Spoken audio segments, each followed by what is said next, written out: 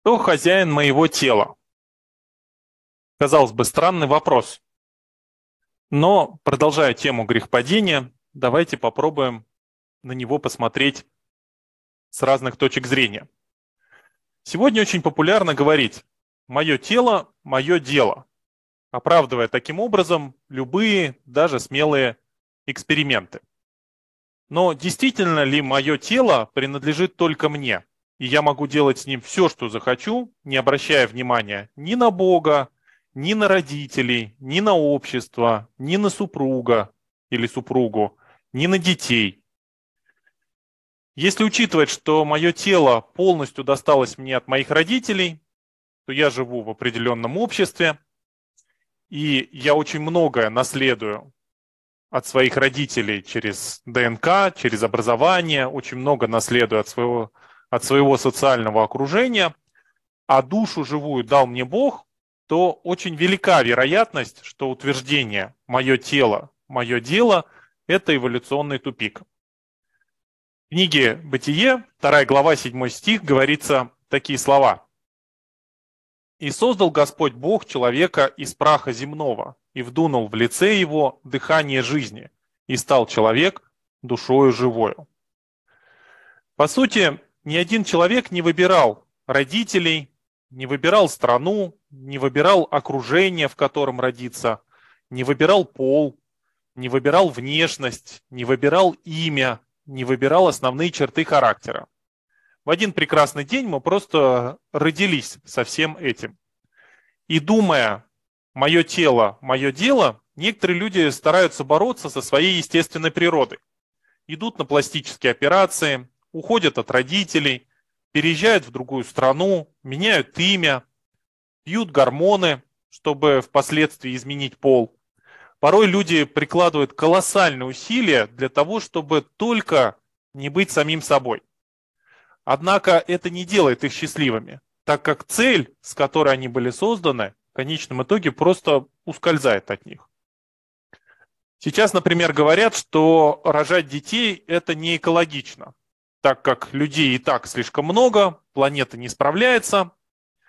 Кто-то сможет, э, может говорить, что женщина это не инкубатор для рождения детей, и она сама вправе решать, рожать ей или нет.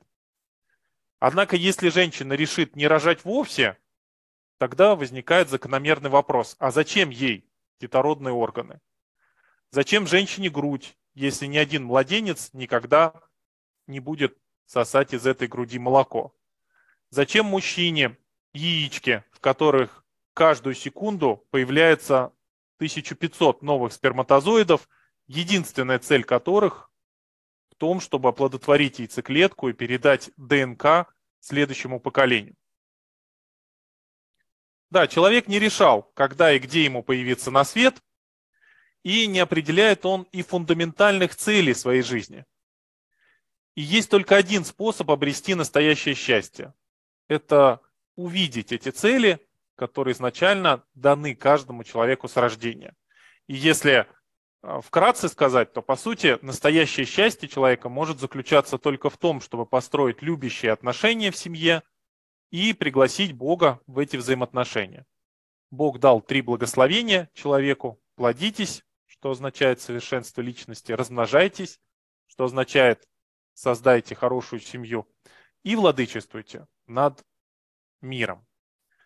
Поэтому идея «мое тело, мое дело» с одной стороны звучит очень привлекательно и на первый взгляд предлагает массу развлечений и массу классно проведенного времени, а на деле же оказывается очень опасным заблуждением. Есть такая притча. Однажды пчеловод оставил горшок с медом на столе в саду возле своего дома. Сладко пахнущий мед привлек семейство мух.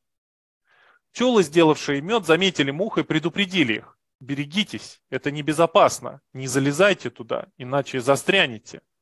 Пчелы роились вокруг горшка, выстроившись стеной, чтобы помешать мухам увязнуть в меду. Но мухи прорвались сквозь стену и стали жадно есть, не подозревая, что их крылья, ноги становятся тяжелыми и липкими от меда не способные взлететь или даже просто вылезти из горшка, все эти мухи утонули во вкусном но опасном для них меде. Мы же тоже порой говорим, тебе там что, медом намазано? Подразумевая, что человек лезет в какое-то небезопасное мероприятие в ожидании какой-либо выгоды, но порой получает нечто совершенно противоположное. И вот этим мухам в притче очень хотелось отведать метку. И их не остановили ни предупреждение, ни здравый смысл, ни то, что этот мед был вовсе для них не предназначен. И как итог, а, они не учли важную поговорку или пословицу «Не разевай роток на чужой медок». И вот если э, мое тело – это вовсе не мое дело, то что можно, что мы можем понять из этого? Ну вот, к примеру, женатый человек. Он всегда должен помнить, что он больше не распоряжается своим телом, так как ему захочется. В первом послании к Коринфянам, 7 глава, 2 стих, апостол Павел говорит такие слова. «Во избежание блуда каждый имей свою жену, и каждая имей своего мужа, Муж оказывает жене должное благорасположение, подобно и жена мужу. Жена не властна над своим телом, но муж. Равно и муж не властен над своим телом, но жена. Не уклоняйтесь друг от друга, разве по согласию, на время, для упражнения в посте и молитве, а потом опять будьте вместе, чтобы не искушал вас сатана невоздержанием вашим. Здесь апостол Павел прям конкретно говорит, что хозяин тела мужа – это жена, хозяин тела жены – это муж. Но так как здесь он говорит о конкретных супружеских взаимоотношениях, то, конечно, не все тело принадлежит жене, не все тело мужа принадлежит жене, и не все тело жены принадлежит мужу. Здесь в первую очередь речь идет о том, чтобы сохранить супружескую верность и избежать блуда. Поэтому можно сказать более конкретно. Половые органы жены принадлежат мужу, и половые органы мужа принадлежат жене. Мужчины, когда встречаются, они пожимают друг другу руку. Так что рука может принадлежать многим людям. Женщины порой, когда встречаются, обнимаются, целуют друг другу в щечку. И это тоже вполне безобидно и нормально. Наше лицо всегда на виду, и на него смотрят все люди, с кем бы мы ни встречались. В этом смысле наше тело может принадлежать многим людям. Тем, с кем мы общаемся, тем, на кого мы работаем, тем, кому мы помогаем. Однако это не касается супружеской сферы и, в частности, половых органов. Если человек начнет всем встречным демонстрировать свои половые органы, ну, многие, наверное, просто сочтут его ненормальным или умственно неполноценным. Хотя в нашем мире, к сожалению, бывает уже и такое. Так вот, половые органы – это самая важная часть тела человека, так как в них заключена генетическая память всего нашего рода. Другими словами, только половые органы оперируют такими понятиями, как любовь, жизнь и родословие. Половые органы позволяют построить с кем-то очень близкие, интимные, эксклюзивные отношения, что, безусловно, верный путь к счастью и продолжению здорового рода. Но когда человек говорит «мое тело, мое дело», он отвергает саму возможность построения вот этих близких и глубоких отношений с супругом. Если то, что очень нужно мне, есть только у моей жены, а то, что очень нужно моей жене, есть только у меня, мы автоматически начинаем больше ценить друг друга, так как нуждаемся друг в друге. Однако, если я сам хозяин своего тела, ну, по крайней мере, в супружестве, то передо мной нет никаких ограничений, в том числе и нравственных. И отсюда как раз и проистекает блуд. В древнегреческой поэме Гомера «Одиссея» главный герой сталкивается с очень явной и вульгарной формой искушения. Одиссей хочет вернуться домой, к своей семье, но ревнивые боги воздвигают множество препятствий на его пути. Одно из искушений, с которым сталкивается Одиссей, это встреча печально известными чарами сирен.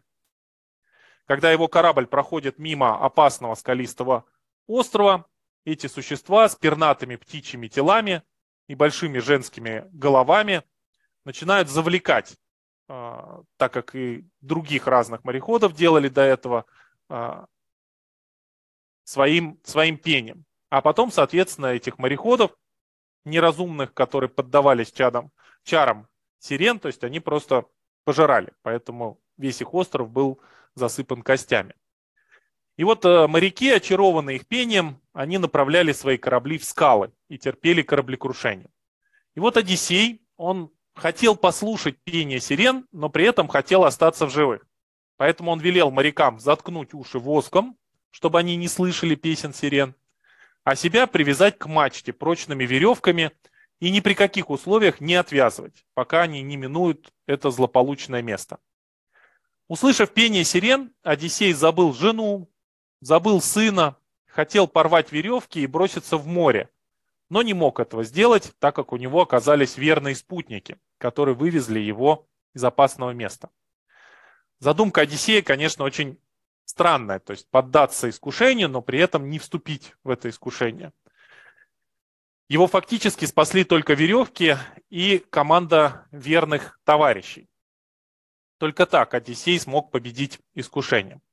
И вот нам фактически тоже нужны Божьи заповеди, личные какие-то ограничения, товарищи в вере, верные товарищи. И, э, соответственно, нам нужно избегать тех или общения с теми, кто подталкивает нас к безнравственности. А, стоит избегать порнографии и не думать о том, что мое тело – это лишь мое дело, а стоит прислушиваться к Богу в этом вопросе. Иначе, как мы в предыдущих видео по этой теме говорили о том, что запретный плод сладок, когда об этом говорят, то это очень конкретное да, искушение, очень конкретное искушение, связанное с блудом. Так что значит прислушиваться к Богу в этом вопросе? Вот, допустим, в притчах 7 глава, 10 стих, есть такие слова. «И вот навстречу к нему женщина в наряде блудницы, с коварным сердцем, шумливая и необузданная. Ноги ее не живут в доме ее, то на улице, то на площадях, и у каждого угла строит она ковы. Она схватила его, целовала его с бесстыдным лицом. Множеством ласковых слов она увлекала его, мягкостью уст своих овладела им. Тотчас он пошел за нею, как вол идет на убой, и как олень на выстрел, доколе стрела не пронзит печени его. Итак, дети, слушайте меня и внимайте словам уст моих. Да не уклоняется сердце твое на пути ее, не блуждай по стезям ее, потому что многих повергла она ранеными, и много сильных, убитый ею, дом ее пути в преисподнюю. Ну, такое вот, да, предостережение в притчах царя Соломона о том, что не нужно уклонять свое сердце к блуду, потому что в конечном итоге ни к чему хорошему это не приведет. Ну и все-таки кто же хозяин моего тела? О чем мы сегодня поговорили. Ну, наверное, прежде всего хозяин, хозяином нашего тела можно назвать Бога. Вот. И э, поэтому и нужны разные Божьи заповеди для того, чтобы четко понимать, что можно делать, что нельзя, где путь к счастью, а где путь, наоборот, какую-то э, какой-то деградации. Если говорить о супружестве, то хозяйкой моего тела или хозяйкой моих половых органов является моя жена. И наоборот. То есть я являюсь хозяином э, тела жены или хозяином половых органов жены. А если говорить о мире в целом в обществе, то хозяином моего тела может быть какая-то высшая цель. Ради чего я живу? В чем мое предназначение? И уже только потом можно говорить о том, что я несу ответственность там, за свое здоровье и за разные другие вещи. То есть, поэтому если отвечать на вопрос, кто хозяин моего тела, то я бы ответил на него таким образом. Прежде всего Бог, потом жена, потом предназначение жизненное и потом уже я сам. Если есть какие-то вопросы, предложения, комментарии, обязательно их оставляйте. Ну, а я желаю всем хорошего дня. Большое спасибо.